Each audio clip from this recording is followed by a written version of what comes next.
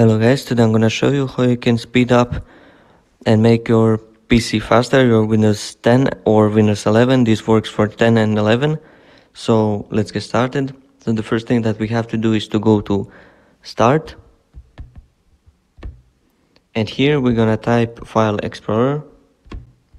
File Explorer like this and go on the first option here file explorer this one and now from here we go to this PC and then we go to local disk on C drive here. After that we go to Windows. And then we scroll down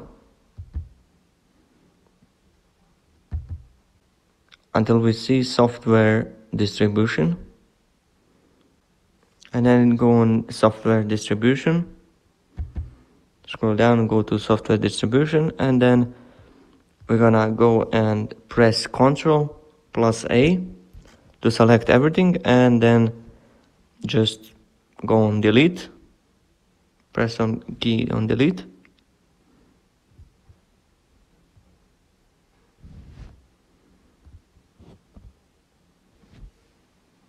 So if you wonder what are these files, these are the just update files. So if you delete this, then you need to re-download the updated files. But if you have problems with updates, I suggest you to delete all of these files like, like, like so.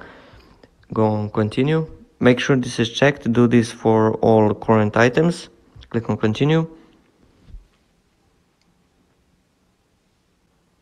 And then after this pops up, just go to this, do this for all current items because these files be, cannot be deleted because they are in use so just go to select all these four coordinates and go and skip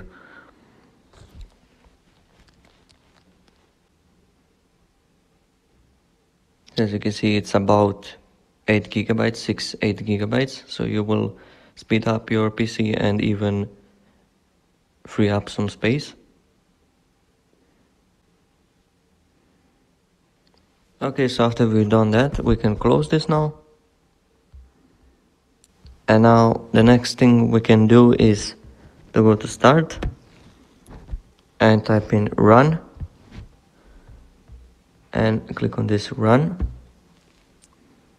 And here on run, we're gonna type clean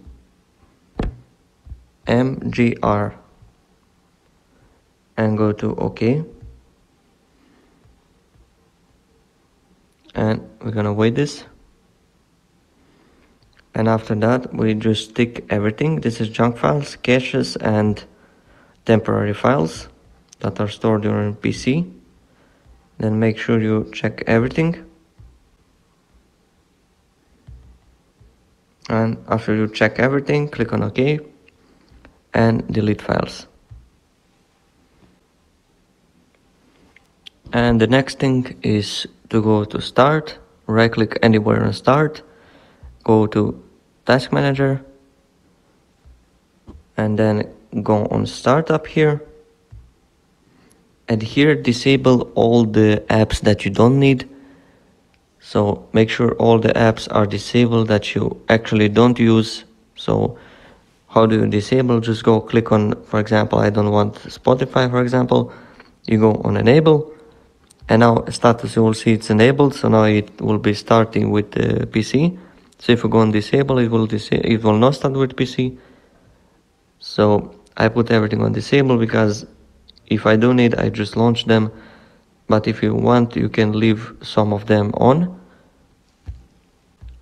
and the next method is go to start and type in cmd and here right click on this run as administrator. Make sure you run it as administrator. Here click on yes.